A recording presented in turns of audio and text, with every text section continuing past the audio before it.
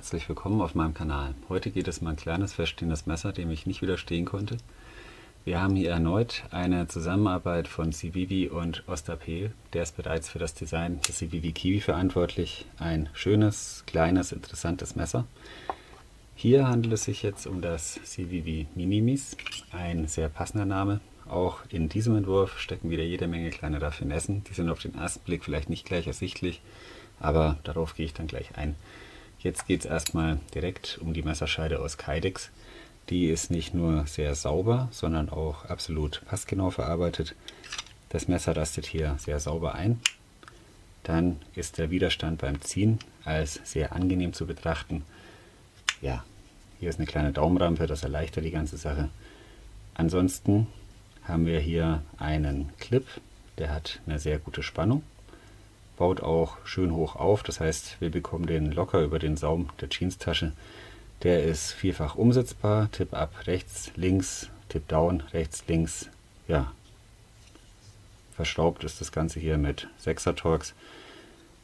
Man kann das Minimis auch als Neckknife tragen. CVV legt hier so eine kleine Kugelkette bei.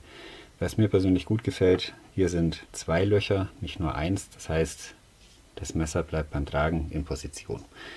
Ja, das ist jetzt auch nicht selbstverständlich. Wie gesagt, bei einem Loch baumelt es dann doch immer so hin und her.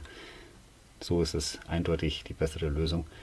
Was auch sehr schön ist, das Ganze ist hier ein sehr schlanker Aufbau. Wenn man sich den Clip jetzt wegdenkt, sind das gerade mal 8 mm.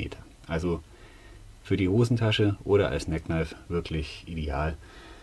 Ja, dann kurz noch zum Gewicht der Kydex-Scheide. Das sind mit Clip gerade mal 16 Gramm. Ohne Clip und die Verschraubung sind sogar nur noch 10,5 Gramm. Also so gesehen nichts. Diese Kette wiegt etwa 8 Gramm. Also absolutes Leichtgewicht. Wenn man ganz genau hinsieht, hier ist noch ein kleines Drainageloch. Ja, das hätte ich mir eigentlich gerne hier im vorderen Bereich gewünscht, aber das ist jetzt Jammern auf hohem Niveau. Ja, das ist für mich auch so gesehen der einzige kleine Kritikpunkt. Also ich habe sonst nichts gefunden. Die Kydex-Scheide weist meines Erachtens ein nahezu perfektes Konzept auf. Gut, kommen wir zum Griff. Man könnte jetzt denken, dass dieser Griff unbequem ist, zu schmal, zu kurz, erinnert optisch so ein wenig an ein Eisstäbchen. Aber Ostapel hat hier gezaubert. Durch ein paar kleine Kniffe hat er es geschafft, eine gute Handlage hinzubekommen, dieser teilweise skelettierte Griff ist gerade mal 69 mm lang, etwa 16 mm hoch und 3 mm breit. Ohne Lanyard ist das ein Dreifingergriff. Zum Thema Lanyard sage ich dann gleich noch was. Kurz zur Beschriftung. Auf der linken Seite etwas vertieft ist hier für Civivi-Verhältnisse relativ präsent das Logo. Das kennt man auch ein bisschen dezenter. Auf der rechten Seite steht dann etwas kleiner Ostapel-Design und aufgrund der schwarzen Beschichtung schwer lesbar noch die Stahlangabe 10CR15CO MOV. Jetzt zum Griffkonzept. Das Minimis greift man intuitiv, weil einem fast nichts anderes übrig bleibt. Man umschließt es hier mit den Fingern und ja, das legt sich dann hier so rein. Die Kanten sind alle angefasst, das heißt, es ist trotzdem bequem. Passt wirklich wie angegossen. Man greift es eher nicht in der Handinnenfläche. Also das ist eher Plan B. Ja, ich finde, das ist trotzdem insgesamt sehr gut gemacht. Wir haben zudem drei Chimpings, die exakt an der richtigen Stelle sitzen. Hier ist ein Chimping im vorderen Bereich bei diesem leicht angedeuteten Guard. Hier hinten ist noch ein Chimping und hier oben erstreckt sich ein Chimping vom Griff bis fast in die Mitte der Klinge. Auch das ist ergonomisch wirklich gut gelöst, weil der Daumen wirklich da auch hin möchte. Zudem hat er noch Raum, seine Position bei Bedarf zu verändern. Schöne Sache. Wer möchte, kann den Griff noch durch ein Lanyard erweitern. Die Fangriemenöse ist hier mit 8 mm Durchmesser mehr als ausreichend dimensioniert. CVV hat zudem mitgedacht und hat noch ein kleines Lanyard mit einem Titanbeat beigelegt. Das nennt sich dann hier CVV Pearl. Ja, durch diesen kleinen Beat kann man dann den kleinen Finger auch noch unterkriegen. Also das würde dann ungefähr so aussehen. Ja, ich muss sagen, für so ein kleines, minimalistisches Messer ist es ein extrem ausgereiftes, gut durchdachtes Griffkonzept. Gut, kommen wir zur Klinge. Die Droppoint-Klinge weist hier bis zu dem kleinen Guard eine Länge von 57 mm auf. Effektiv liegen wir hier bei 50 mm. Hier ist eine kleine Schleifkabe. Klingenbreite liegt hier bei 2,9 mm. Im Bereich der Spitze sind es 0,8 mm. Ja, ausreichend stabil. Dann ist das hier eine Klingenhöhe von 17 mm. Ein komplett hochgezogener und sehr sauber ausgeführter Flachschliff.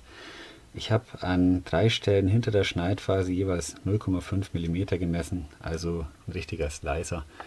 Klingenstahl ist wie vorhin erwähnt der 10CR15 CO MOV. Der wurde hier auf 59 bis 61 HC ausgehärtet. Ja, also gegen diesen Stahl gibt es nichts einzuwenden, wird gerne mit dem VG10 Stahl verglichen, passt von meiner Seite.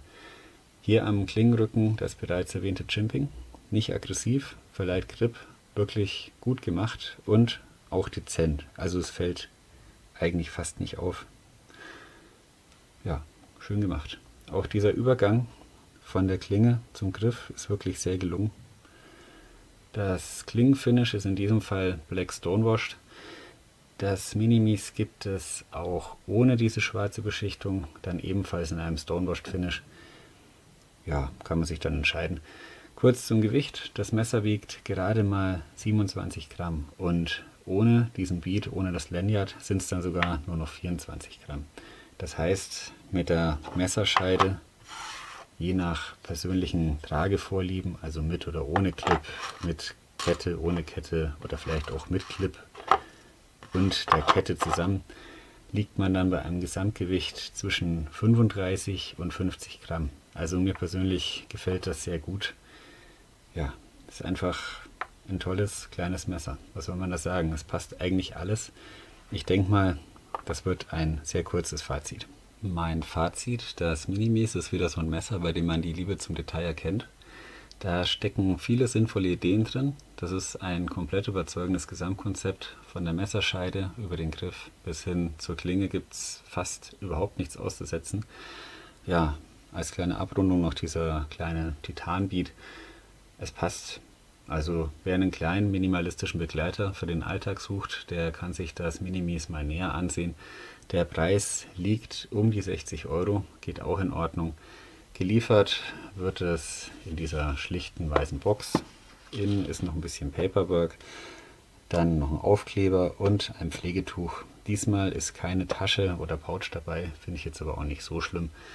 Ja, mein Minimis habe ich von der Altona Silberwerkstatt, kann ich wirklich nur empfehlen. Man bekommt diese persönliche Grußkarte. Das ist immer eine schöne Sache. Dann einen Knife Launch Aufkleber, ein bisschen Nervennahrung,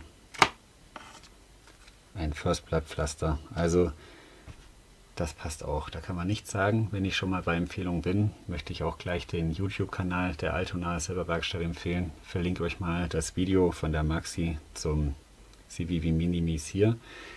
Ja, tolles Video, toller Kanal. Zu Civivi möchte ich noch sagen, das ist jetzt mein drittes Civivi nach dem Kiwi und dem Appalachian Drifter, das Minimis.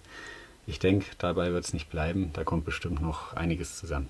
Okay, dann war es das. Vielen Dank für eure Aufmerksamkeit. Ich wünsche euch alles Gute, bleibt gesund, bis zum nächsten Mal.